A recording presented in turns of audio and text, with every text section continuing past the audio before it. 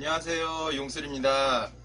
자 오늘 보여드릴 공구 기계 공구 요 제품은 파트너라는 제품이에요. 이제 엔진으로 구동이 되는 제품이고요.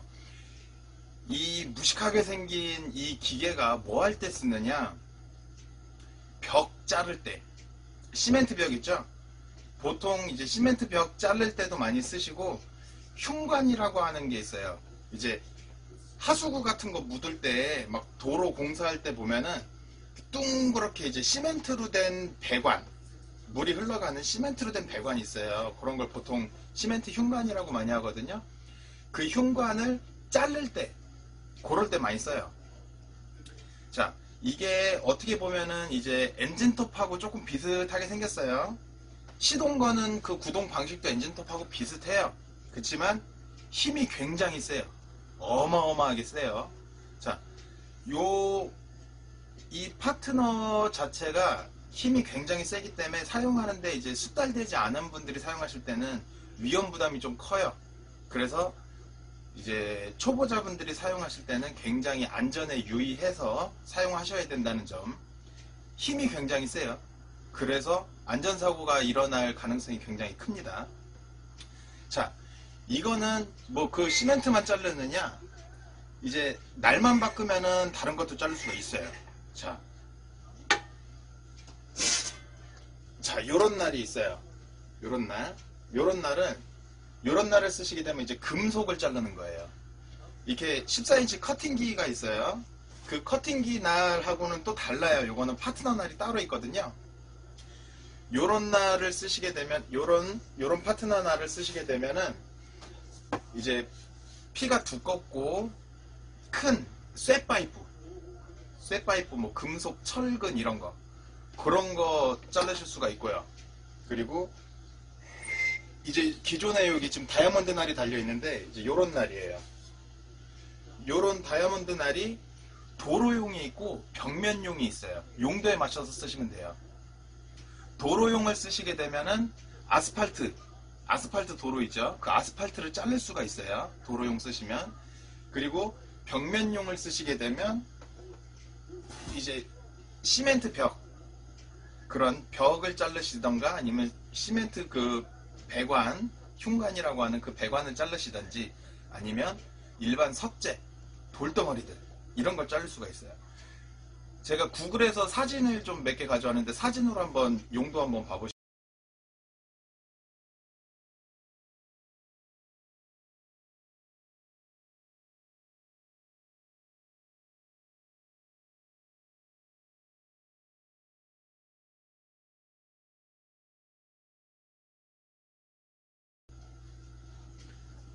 자, 건설 현장에서 이제 많이 쓰이는 기계예요. 일반 분들한테는 굉장히 생소한 제품입니다.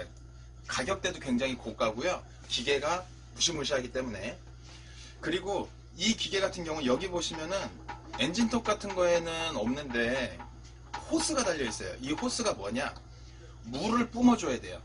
이 날이 이제 절삭을 하면서 열이 많이 발생되잖아요. 부하가 많이 발생되기 때문에 물을 계속 뿌려줘가지고 이제 냉각을 시켜줘야 돼요. 윤활 겸 냉각 겸이라고 보시면 돼요. 그래서 지금 여기 이렇게 호스가 달려 있고요.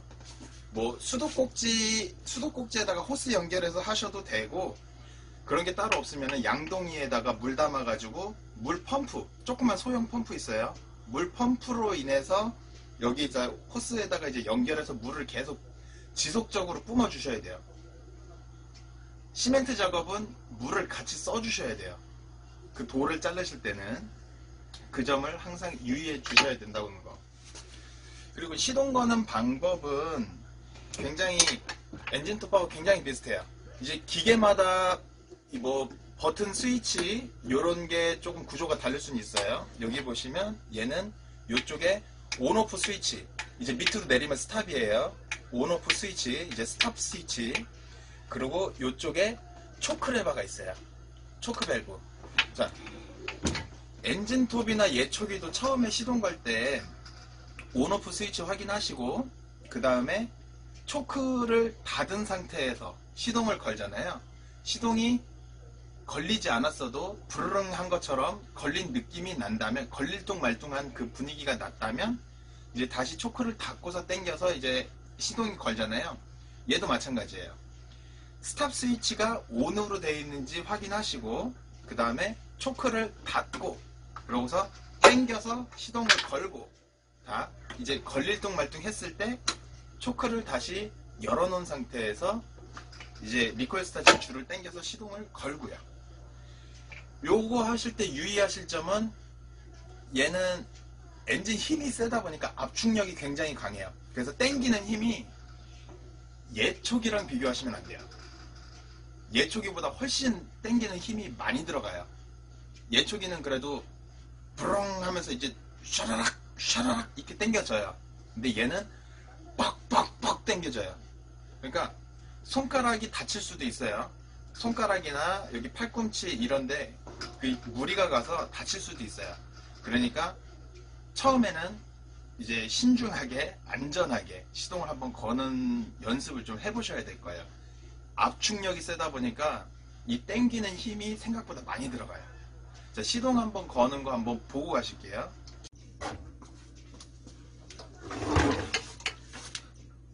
자, 온오프 스위치, 스탑 스위치 오는 위치에 있는지 확인하시고요. 초크 내리시고, 초크 내리시고, 요거는 압축력이 굉장히 세니까 시동 거실 때 조심해서 하셔야 돼요.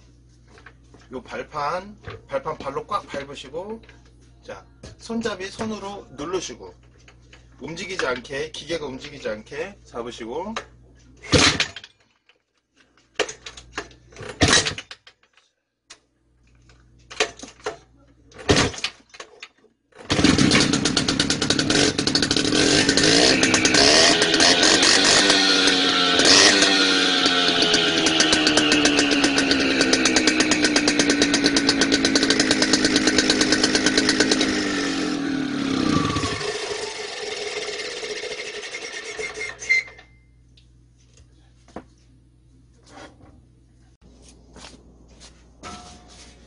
자, 보시면은 요거 땡기는 압축력이 굉장히 세요.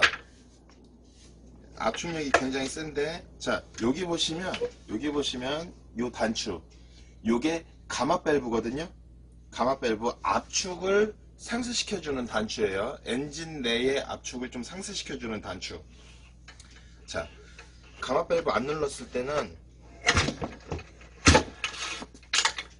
압축이 굉장히 세요. 압축이.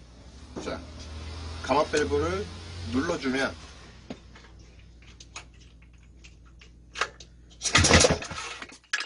조금 스르르 되죠? 자, 요 스탑 스위치, on off 스위치 확인하시고 초크 당기시고 감압 밸브 단추 누르시고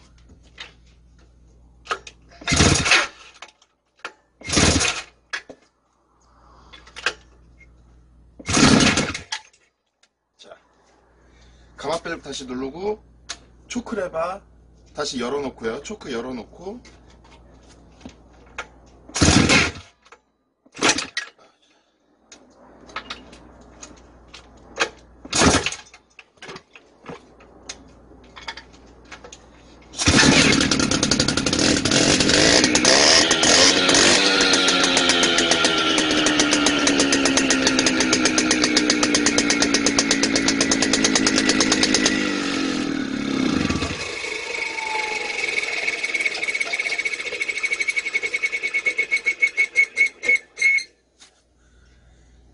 이 엔진 실린더 내의 압축이 굉장히 센 기계이기 때문에 요 감압 밸브 단추를 눌러서 시동을 걸면은 그나마 그나마 조금 더 약한 아 약하다기보다도 조금 더 수월하게 시동을 거실 수가 있어요. 요요 감압 밸브 요 감압 밸브는 제가 정확히는 모르겠지만 모든 제품이 다 있는 거는 아닌 걸로 알고 있어요. 없는 제품도 있지만은 요렇게 엔진 힘이 센 이제 압축력이 굉장히 강한 요런 엔진에는 요런 감압 밸브가 하나씩 다 달려 있어요. 요 감압 밸브 요런 요런 밸브 요 감압 밸브를 사용하면 조금 더 수월하게 시동을 걸 수 있다는 거 알고 계시기 바랍니다. 자, 보셨죠? 이- 이게 뭐 보시는 각도에 따라서 뭐 시동이 잘 걸린 걸 수도 있고 안 걸릴 걸 수도 있는 잘 이렇게 힘들게 걸린 걸 수도 있는데 지금 이 기계는 시동은 잘 걸리는 기계예요. 근데 다만 이제 거는 게 이제 압축력이 세가지고 힘이 좀 많이 들다 보니까 저도 이거를 기계를 엄청나게 자주 접하는 그런 기계는 아니기 때문에 아직까지도 이제 시동 거는 게 그렇게 숙달되지는 않았어요. 시동 거는 방법은 당연히 알지만 숙달되지는 않았기 때문에 힘들어요. 파트너 시동 걸 때마다 손도 아프고 어깨도 아프고 팔꿈치도 아프고 이거는 이제 기왕이면 써보신 분들이 쓰시는 걸 추천드리고요. 이제 유튜브에서 이제 용쓰리 채널에서 이런 제품이 있다는 걸 봤다.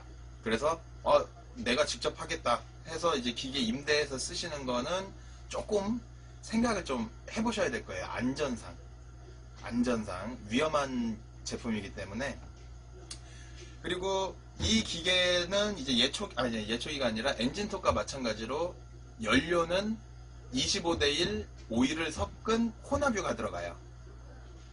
투사이클 엔진 오일과 휘발유 25대1 아 바뀌었죠? 오일이 1 휘발유가 25 투사이클 오일과 휘발유 1대 25 요 비율로 섞어서 혼합유를 쓰셔야 돼요. 여기에 들어가는 건 혼합유만 들어가면 돼요. 혼합유만 들어가면 되고 엔진톱은 이제 나를 윤활시켜주는 그 엔진 오일이 따로 들어가는데 이 같은 경우는 나를 이제 그 냉각시켜주는 물이 들어가기 때문에 여기 연결된 이 호스에서 이 날 쪽으로 계속 물을 뿜어주면서 이제 사용을 하는 제품이기 때문에 얘는 혼합유 연료만 들어가면 됩니다. 자 유의하실 점은 요거 쓰실 때는 항상 물을 같이 써야 된다는 점 그리고 연료는 25대1 비율로 휘발유와 오일 25대1 비율로 섞은 혼합유를 써야 된다는 점 그리고 압축력이 굉장히 세고 엔진 힘 자체가 굉장히 세고 기계 자체도 무겁고 해서 항상 안전하게 사용하셔야 된다는 점 요것만 유의하시고 이런 기계도 있구나라는 걸 한번 보여드리려고 준비했습니다. 자, 다음번에 또 도움이 될 만한 유익한 정보 들고서 찾아뵙도록 하겠습니다. 감사합니다.